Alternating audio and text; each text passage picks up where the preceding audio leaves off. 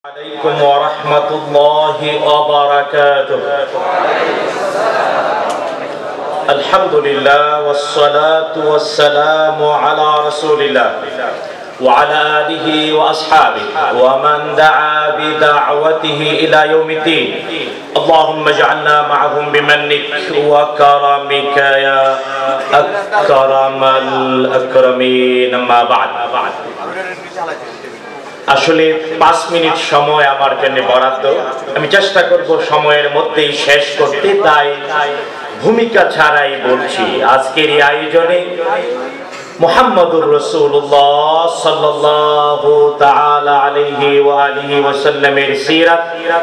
তবে হা কোরআন আল করিম হেফজ এর পাগড়ি এবং সহিহুল বুখারীর শেষ সবক দান। আসলে তিনটি বিষয় একই সূত্রে গাথা। কারণ আল কোরআন, আল করিম, আল্লাহ তাআলার সর্বশেষ, সর্বশ্রেষ্ঠ ওয়াহি আর হা আল কোরআন আল করিমের বাস্তব প্রমাণ মুহাম্মাদুর রাসূলুল্লাহ সাল্লাল্লাহু তাআলা আলাইহি ওয়া আলিহি ওয়াসাল্লাম আর যদি পৃথিবীতে কেউ পৃথিবীতে যে কেউ প্রশ্ন করে দেখতে চায় মোহাম্মদুর রসুল্লাহ ওয়াসাল্লামের কথা কাজ সমর্থন আর গুণাবলীকে সন্দেহহীন ভাবে একেবারে সত্য দলিল আর প্রমাণ হিসেবে তাহলে অবশ্যই তাকে দেখতে হবে। একটি বিখ্যাত কিতাব যার নামের সাথে শব্দটি জড়িত। তার নাম হলো সাহিহুল বুখারী। তবে আমি আজকের আয়োজনে বলতে চাই সাহিহুল বুখারী নামক এই বিখ্যাত অনবদ্য বিশুদ্ধতম কিতাব আমরা পেয়েছি কীভাবে? সবাইকে জানা উচিত ইমাম মোহাম্মদ বিন ইসমাইল বিন ইব্রাহিম আল বুখারী আবু আব্দুল্লাহ তিনি তার বিখ্যাত এই কিতাব সংকলন শুরু করেছিলেন। একজন শিক্ষকের অনুপ্রেরণায়। একজন শিক্ষক বলেছিলেন, তোমাদের মধ্যে কি কেউ এমন নাই যে জমা করতে পারে, সংকলন করতে পারে বিশ্ব নবী মোহাম্মদুর রসুল্লাহ সাল্লাহ আলী ওসাল্লামের সহি সুন্নাকে বুখারী আবু আব্দুল্লাহ মোহাম্মদ ইসমাইল আল বুখারী শিক্ষক। ইসহাক, তিনি এই কথা বলেছিলেন, আর শিক্ষকেরই অনুপ্রেরণায় আট বাইশ বছর বয়স থেকে শুরু করে ষোলো বছরের সাধনায় আটত্রিশ বছর বয়সে কমপ্লিট করেছিলেন আবু আব্দুল্লাহ মুহাম্মদ ইবনু ইসমাইল আল আজ আমাদের সামনে থাকা সহি আল বুখারীকে আমি আজকের আয়োজনে দাঁড়িয়ে বলতে চাই, ইমাম বুখারি পৃথিবী থেকে চলে যাওয়ার প্রায় বারো বস, বারো শত বারো শত বছর, প্রায় বারো শত বছর পরে অন্তত আমি আমার সাক্ষী দিয়ে বলতে চাই আমরাও যদি ইমাম বুখারির পদাঙ্ক অনুসরণ করে, তার মতো হতে চাই, অনেকে প্রশ্ন করব, আমাদের জন্য একজন শিক্ষকের প্রয়োজন। আর আমি বলি, আমাদের জাইনাল আবিদিন ঠিক এমনই একজন শিক্ষক বুখারী যেমন ইসহাকের অনুপ্রেরণায়, সহিহুল বুখারী সংকলন করে পৃথিবীকে বিশ্বনবী মুহাম্মদুর রাসূলুল্লাহ সাল্লাল্লাহু আলাইহি ওয়াসাল্লামের জীবন, সুন্নাত, কথা, কাজ, সমর্থনকে বিশুদ্ধভাবে উপস্থাপন করেছেন। আমাদের মাঝেও জাইনুল আবিদিন আছে। বলেন না আমি জোরে বলুন আমি শুধু তাই না তার সাথে আরও যারা আমাদের জ্ঞানের সনদ যাদের থেকে অনুপ্রাণিত হয়ে আমরা আগাচ্ছি, তবে ভুলে গেলে চলবে না।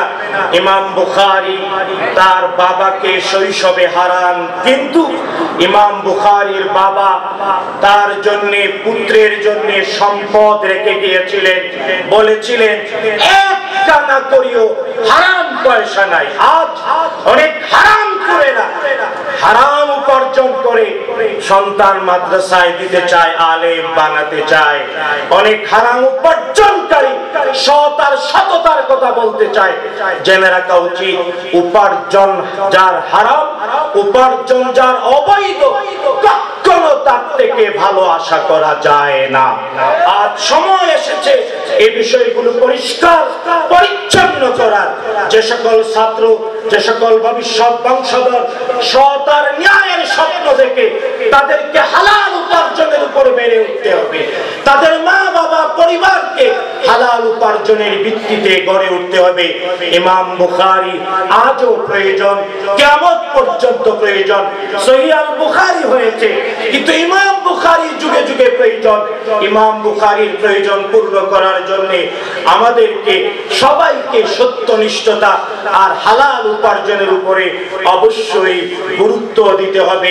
আজ যা তলানিতে, আজ যা হারিয়ে যাচ্ছে। বন্ধুগণ, ইমাম বুখারী তার বিখ্যাত কিতাব সংকলনের জন্য একাধারে ষোলোটি বছর এত কষ্ট করেছেন। গত রাতে আমি ঘুমাতে পারিনি তার জীবনী। ইমাম বুখারী বছর পর্যন্ত এই সহিহ আল বুখারী সংকলনের জন্য যে রাস্তা অতিক্রম করেছেন। আজকালকার ছেলেরা, আজকালকার জ্ঞান অন্বেষণকারীরা জ্ঞানের জন্য কিছুই দিতে চায় না, কিন্তু মহাজ্ঞানী হয়ে বসে থাকতে চায়। জেনে রাখা উচিত, জ্ঞান কিচ্ছুই দেবে না তোমাকে। আল ইলমু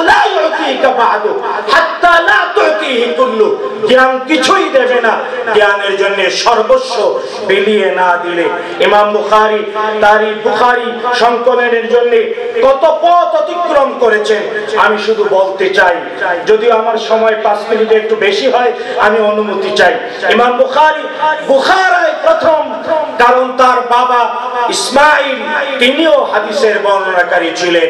তিনি তার জন্মস্থানে প্রথম হাদিসের শিক্ষা গ্রহণ করেন, হাদিস গ্রহণ করেন। তারপরে বুখারা থেকে বালাখ ভ্রমণ করেন, প্রায় ছয়শো কিলোমিটার। তারপরে বালাখ থেকে মারু ভ্রমণ করেন, প্রায় আটশো কিলোমিটার। তারপরে মারু থেকে নিশাপুর সফর করেন, প্রায় একশো চল্লিশ কিলোমিটার। তারপর নিশাপুর থেকে আর রাই সফর করেন, প্রায় সাতশো ষাট কিলোমিটার। আর রাই থেকে সফর করেন আল ওয়াসেট প্রায় নয়শো পঁচাশি কিলোমিটার। তারপরে আল ওয়াসেট থেকে বাসরা ভ্রমণ করেন, প্রায় তিনশো পঁয়ষট্টি কিলোমিটার। তারপরে বাসরা থেকে কুফা ভ্রমণ করেন, প্রায় তিনশো নব্বই কিলোমিটার। তারপরে কুফা থেকে বাগদাদ ভ্রমণ করেন, প্রায় একশো চৌষট্টি কিলোমিটার। তারপরে বাগদাদ থেকে মদিনাতুন নববিয়া সাল্লাল্লাহু আলাইহি ভ্রমণ করেন, প্রায় 1530 কিলোমিটার। তারপরে মদিনাতুন নবী সাল্লাল্লাহু তাআলা আলাইহি ওয়াসাল্লাম থেকে মক্কাতুল মুকাররমা ভ্রমণ করেন। প্রায় 445 কিলোমিটার। তারপরে মক্কাতুল মুকাররমা থেকে জেদ্দায় যান প্রায় 70 কিলোমিটার। তারপর জেদ্দা থেকে সমুদ্রপথে ইজাব যান 130 কিলোমিটার। তারপরে ইজাব থেকে মিশরের ফুস্তাতে যান 1080 কিলোমিটার প্রায়। তারপরে ফুস্তাত থেকে আসকালান যান প্রায় 500 কিলোমিটার। তারপরে আসকালান থেকে কায়সারিয়াতে প্রায়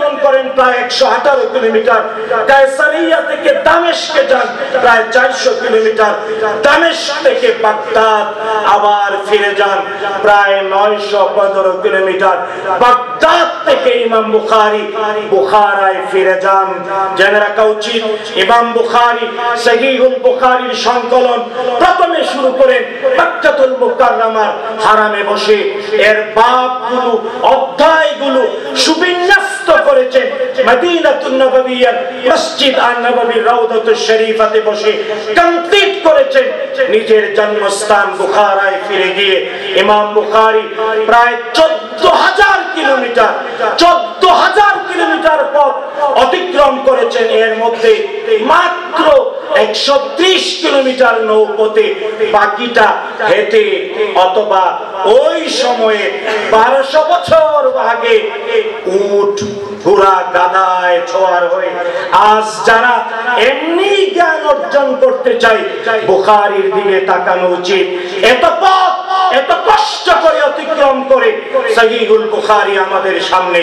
তাই আজ আমাদেরকেও জ্ঞানের জন্য নিবেদিত হতে হবে। জেনে রাখা উচিত, ইমাম বুখারী প্রায় প্রায় এক হাজার আশি জন শিক্ষকের কাছ থেকে এক হাজার আশি লক্ষ হাদিস জেনে এর মধ্য থেকে পুনরাবৃত্তি সহ প্রায় সাত হাজার তিনশো হাদিস দিয়ে সহিহুল বুখারি আমাদের সামনে দিয়ে গিয়েছেন। যার মধ্যে মোহাম্মদুর রসুল্লাহ সাল্লাল্লাহু আলাইহি ওয়াসাল্লামের জীবন্ত বাস্তবতা কিয়ামত পর্যন্ত সবাই খুঁজে পাবে। আজকের পৃথিবী অন্যায়, অনাচার, জুলুম, অত্যাচারে ডুবে রয়েছে। এর থেকে নিষ্কৃতি একটাই পথ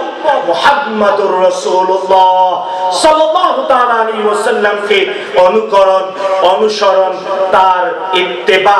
আর যদি সত্যি ইসলাম গ্রহণ করে আল্লাহর গোলাম হয়ে নবীজির অনুসরণ করতে হয়। দলিল লাগবে। কোরআন আল্লাহর কালাম, কিন্তু কোরআন বোঝা যাবে না। কখনো বিশুদ্ধ হাদিস ছাড়া। আজকের সমাজে অনেক বিভ্রান্ত চিন্তার অধিকারী লোকজন তৈরি হয়েছে। বিভিন্ন নতুন নতুন ফেরকা এসেছে। অনেকেই কেবল কোরআন, শুধু কোরআন নিয়ে জীবন চালাতে চায়। আমরা চ্যালেঞ্জ করে বলতে পারি, বলতে চাই হ্যাঁ কোরআন বুঝার জন্য অবশ্যই বুখারি লাগবে সহি মুসলিম লাগবে। হাদিস ছাড়া বিশ্ব নবীর জীবন্ত বাস্তবতা ছাড়া কোরআন বোঝা যাবে না না না। তাই আল কোরআন